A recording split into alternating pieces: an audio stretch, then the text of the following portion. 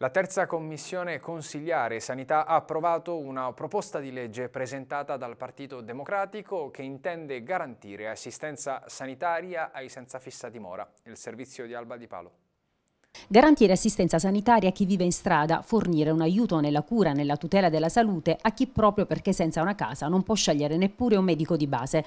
È l'obiettivo della proposta di legge presentata dal Partito Democratico in Consiglio regionale e approvata dalla terza Commissione Consigliare Sanità. Il testo di legge si basa sui dati relativi a chi vive in povertà assoluta che secondo i rilievi effettuati dall'Istat relativi al 2020 riguarda il 9,4% della popolazione nazionale. L'obiettivo è chiaro. La possibilità di garantire che per essere curati non è necessario rivolgersi ai pronto soccorsi e quindi aspettare i tempi e quant'altro, ma avere un medico di base che sia un punto di riferimento anche per loro. La proposta di legge considera anche i dati relativi alla Puglia con un focus sulla città di Bari, in cui ci sarebbero tra i 500 e i 550 senza tetto, di cui il 53,7% vive in condizioni di indigenza da almeno due anni.